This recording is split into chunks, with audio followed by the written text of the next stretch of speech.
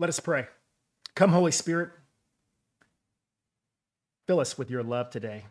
Open our hearts and our minds to your word so that we not just hear the word, but we live it out. We ask this all in Jesus' name. Amen. The other day, I was driving uh, with my daughters in the car, and I love to play them music from when I grew up 1980s, 1990s.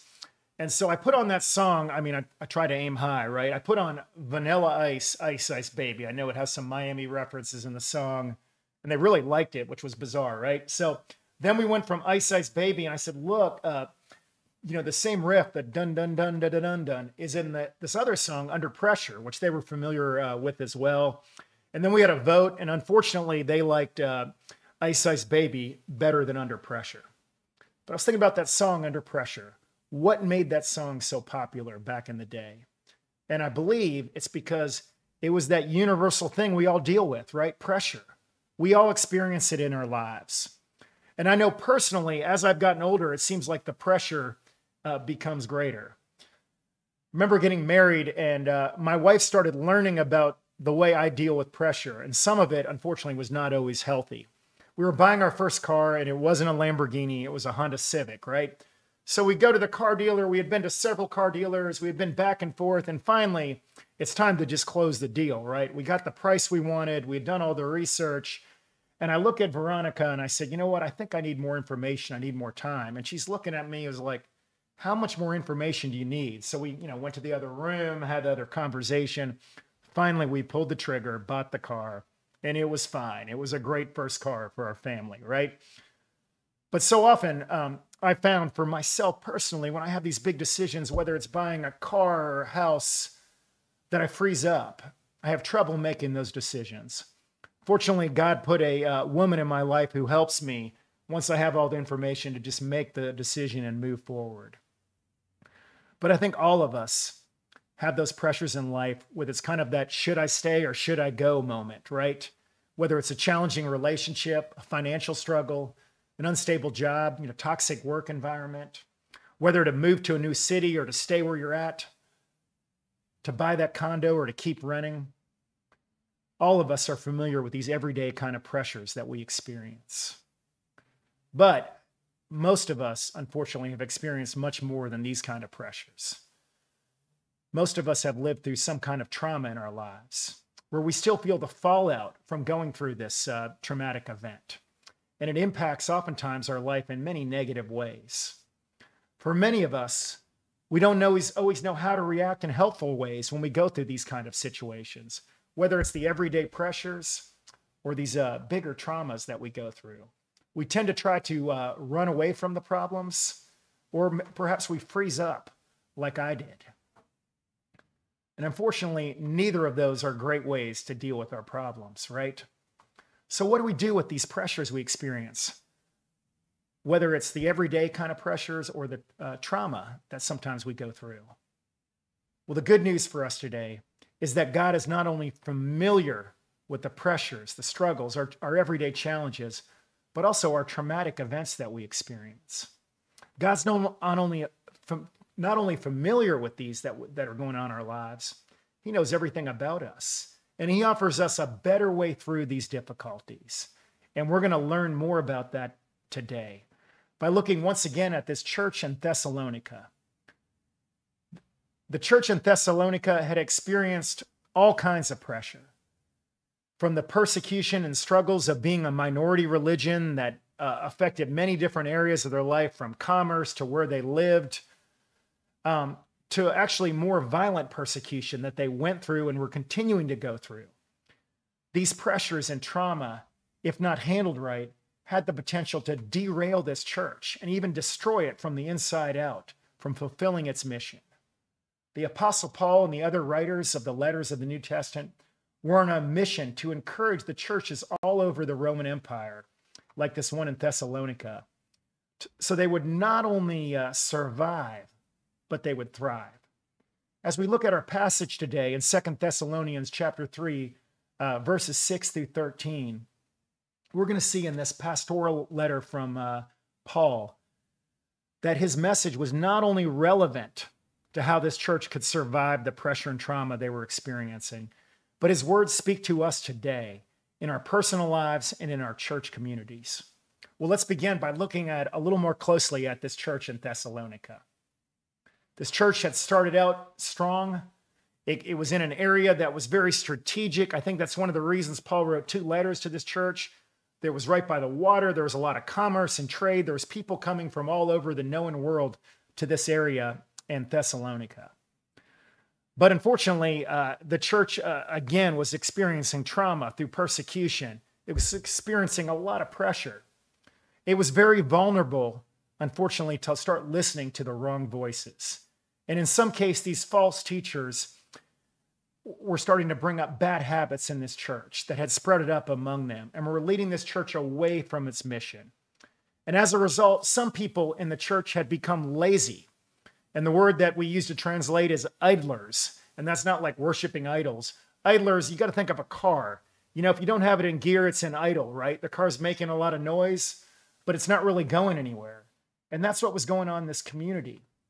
It was making a lot of noise. People were complaining. People weren't working, but it was not moving. It was not fulfilling the Great Commission of going and making disciples. It was not living up to the potential of all that it could be. So, why was this happening? Well, first of all, there were some teachers we learn about uh, in both letters in the Thessalonians who had told uh, this church that the end had already come, that Jesus had already come back. Perhaps this church was struggling so much because they'd been left behind. Or Jesus was about to come back. It was going to happen any day now. So, some among the congregation perhaps had listened to these voices, to these teachings, and it was an excuse to not work. So, this is why Paul writes In the name of our Lord Jesus Christ, we command you, brothers and sisters, to keep away from every, every believer who is idle and disruptive and does not live according to the teaching you receive from us. Paul let the church know yes, Jesus was coming back, but this was an excuse. This was no excuse to not work. Perhaps you have heard the phrase, so focused on heaven that they're no earthly good? Well, that's exactly what Paul was talking about. This was no reason, even if Jesus was coming back any moment now, the church had an obligation to fulfill its mission, to make disciples, to work hard, to do what any uh, good community was supposed to do. There's another possibility that was causing these people to become idle, to not work. Perhaps they had uh, this whole practice in the Roman Empire that they were part of, of Roman patronage. And this is where, if you had status, you didn't do any physical labor.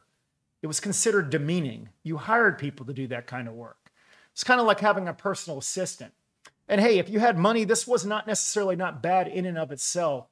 But the problem was it was abused in the Roman Empire. Oftentimes, they got these personal uh, assistants to do uh, corrupt things for them, like cheat on their taxes or arrange affairs, arrange liaisons. This led to disordered personal lives. So perhaps the community had gotten this whole idea from the Romans of like, work is bad.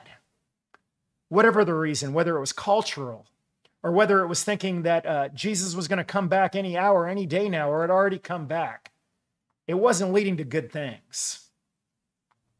These idlers were taking advantage of Mediterranean hospitality, the idea that the community took care of each other. And in the church, the early believers in Christ, was incredibly strong because Jesus' message of loving and serving one another, they took it seriously. And you add that to whole, the whole idea of the Mediterranean uh, culture of really loving and caring for the neighbor, it enhanced it. It magnified this whole idea. But now we had people that just wanted to be served. They didn't want to serve. They wanted to eat food, but they didn't want to work. And it was causing chaos in the community. In addition to uh, not working, the community was involved with something else. They were becoming busybodies. In other words, they were minding everybody else's business and not their own. Paul writes, We hear that some among you are idle and disruptive. These people are not busy, he writes, they are busybodies. So what is actually what is this word busybodies? Busybodies were they were busy talking about anyone else but taking care of their own body, right? Paul understood if the church was going to be a healthy body, they needed to build up one another and not tear each other down. this practice of idleness and um, being busybodies was doing the opposite. You know, you don't become a somebody. The church was not going to become impactful if it was being a busybody, right? And you're, they were going to become a nobody because nobody wants to be around a, either a person or a community of people that's just gossiping and tearing each other down. This problem of idleness and uh, being busy, busybodies had crept into this church community. People had, were not working, they were using each other and becoming busybodies. The church had become frozen, it was stuck, and it needed a way forward. Well, being a good uh, pastor, Paul uses this letter not only to talk about the problem, but to provide solutions. The first thing he said, he said, was to be imitators of what you've seen from us. See, Paul traveled with a group of other missionaries. He said to the to this church, he said, "Keep away from every believer who is idle and disruptive and does not live according to the teaching you receive from us." See, these early apostles um, had directly been impacted by Christ's life and words. They were changed from the inside out. They had, they had seen it, they had seen the risen Jesus. And they were charged with carrying out his mission, the Great Commission, as a way of life. And when Paul, the Apostle Paul, joined their ranks, he continued in this trajectory of moving the gospel forward. Paul and these early church leaders understood Jesus' words and actions and mission were to be the foundation of every church.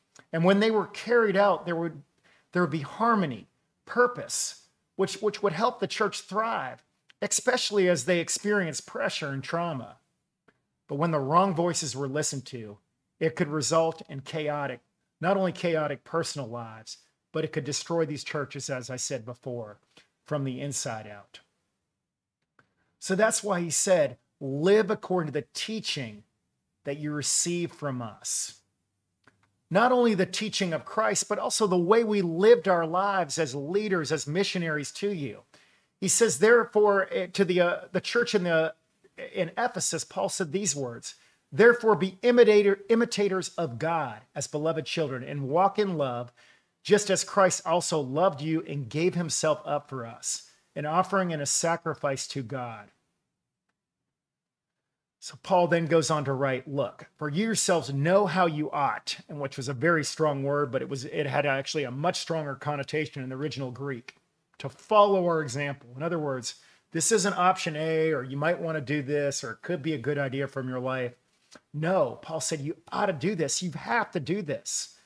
He says, listen, we were not idle when we were among you, nor did we eat anyone's food without paying for it. On the contrary, we worked night and day laboring and toiling so that we would not be a burden to enter to any of you. We did this not because we do not have the right to such help, because as missionaries coming in, they could have said, hey, we deserve a meal, right? But in order to offer ourselves as a model for you to imitate. Paul wants them to imitate the teaching he told them about Christ. He wants to imitate the way of life, their way of working hard. But Paul, being a good pastor, not only writes to the people that are being impacted by these people who are uh, lazy and causing trouble among them, he also wants to restore those very people that are being idle. He says this such people we command and urge in the Lord Jesus Christ to settle down and earn, the food they keep. He's constantly encouraging not only those who are impacted by the problem, but the people who are the problem makers. And finally, he ends this segment with these words And as for you, brothers and sisters, never tire of doing what is good. In other words, keep going, persevere, don't give up. Don't let this setback we've had with the laziness and talking too much derail you. Let's all get back on track. We have a mission to do, the Great Commission to live out uh, the faith, to go and make disciples of all uh, nations, to not give up. You know, I was thinking about this passage, Paul's words of encouragement to be imitators of us. And it reminded me of a, a chef show I saw on Netflix. You know, they have a lot of them on there. In this particular show, the guy was a, um, a very talented young chef, and he got a job with this um, very expensive restaurant that had an incredible uh, reputation in the Midwest. It was one of those kind of Michelin rated, uh, you know, uh, restaurants. Anyway, he gets in the environment there and he's working with all these other chefs. And he said it was cutthroat. He said everybody was out to get one another, to step on one another, to try to get known so they could build their resume, right? And he said the top chef, who was one of his heroes, was just a nightmare to work with. Again, very toxic kind of environment. So he quit. Everybody said, You're crazy. How can you quit this restaurant? So he ended up doing a research and went to a much smaller restaurant in a different part of the country, but had an incredible reputation. The, the chef was uh, was known all over the world, and he was a little gun shy as he went in, thinking, "Okay, I don't want another bad experience." So he goes into this restaurant. he sees this man mopping the floor, and he's like, "Well, it's probably the custodian or one of the kitchen staff." So he asked the guy mopping the floor where the you know this head chef is, and the guy's like, "Well, that would be me." And so he just talks, starts talking to him like a regular person. And as he, um, he ended up getting a job with the guy, the guy hired him, and it was an incredible experience for him because the guy modeled what a healthy restaurant looks like, what a healthy company looks like. He was a servant. He didn't just tell people to go do this and do that, he did it too, the head chef. And that became part of this young chef's DNA. That when he finally went to and started his own restaurant, he didn't remember the stuff from the first restaurant. He remembered the second, the mopping the floor. And he brought that same culture into his new restaurant, and his restaurant became incredibly successful. You see, the people who worked there started imitating what the head chef was doing, just like he had learned at the healthy restaurant he went to. So, as Paul wrote these letters uh, through the various churches, and, and specifically to this one in Thessalonica that had the influx of laziness, idleness and uh, these people just talking way too much and gossiping. He had a mission too. He wanted this church to become healthy and not toxic, to not be derailed, but to thrive. This was his mission. This is why he wrote the letter. He didn't want them to become frozen or to just quit and say, we're done. He wanted them to get back to the right path. So, what does this message from Paul to the church of Thessalonican have to do with you? Well, I think it is a reminder for all of us, particularly you today, as you go through the daily pressures, as you experience trauma, to listen to the right voice. Whether your reaction is uh, to freeze up or to maybe want to run away, there's a better way. And that's the way of faith. You know, what is faith? Because that's a pretty churchy word, right? Faith is when we put all of our weight on God's promises. It's like jumping both feet into the pool, trusting our lives and saying yes to God. See, when we do this, we're reminded that we're not alone. God fills us with the power of the Holy Spirit in our lives, and He puts a community of believers around us. We call it the church, the body of believers. And we have clear instructions together to be imitators of God as beloved children, to walk in love as Christ also loved and gave himself for us, just as I, uh, that when Paul wrote to the Ephesians those words. So we're reminded that we're not alone. We have a mission that we carry out together. When you say yes to Christ, when you put your whole faith, your whole self in, you're not disappointed. You have a way forward as you deal with pressure and trauma. The writer of Proverbs wrote these words and says, As iron sharpens iron, so one of us sharpens another. We sharpen one another as we go through difficulties. The writer of Hebrews said, Let us not give up meeting together, together as some are in the habit of doing, but let us encourage each other. We're called to meet together, to share our burdens with each other, as in Galatians, in Paul's letter to the Galatians, when he writes, Carry each other's burdens, and in this way you will fulfill the law of Christ. The way of faith helps us as not only we deal with the pressures from everyday life, but as we go through trauma, that we walk with it together. And for our church, it's a reminder, these, uh, this uh, passage uh, in Thessalonians, that we too are called not to be derailed, not to become lazy in doing what Christ has called us to, not to become busybodies and gossips, but instead to become engaged with Christ, with his words, to be filled with the Holy Spirit. And as we're engaged and filled, that we go out and share the love we have with Christ to the world.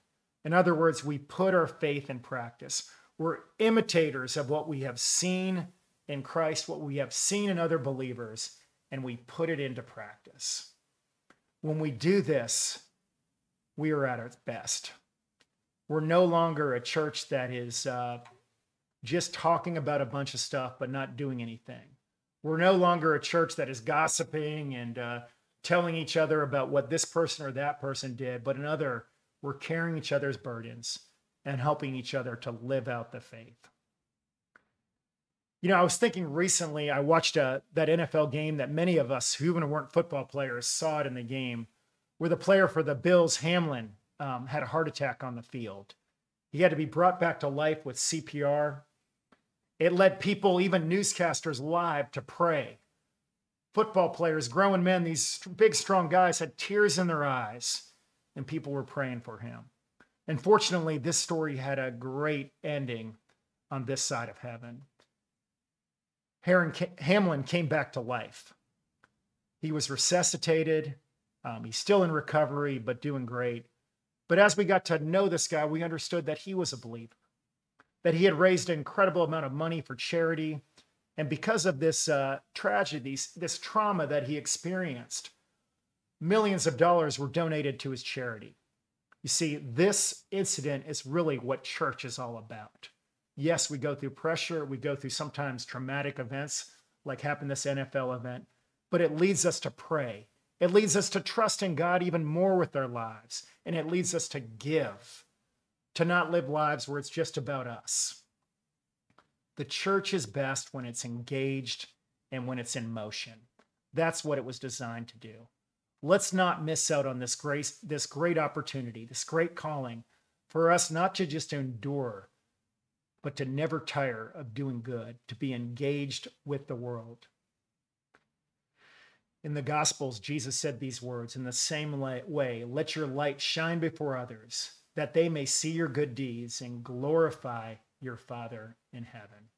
Let us pray. Lord God, we need you. We can't do church, we can't do life very well without you. Lord God, we all experience pressure, we experience trauma, but you are with us in that. You have called us to be a part of a body of believers who carries our burdens, who sharpen each other, and who love each other. Lord God, help us to not get in the habit of not meeting together, but let us encourage one another to be Christians who are engaged with you and engaged with the world. Help us to carry out the Great Commission through your power. And we ask this all in Jesus' name. Amen.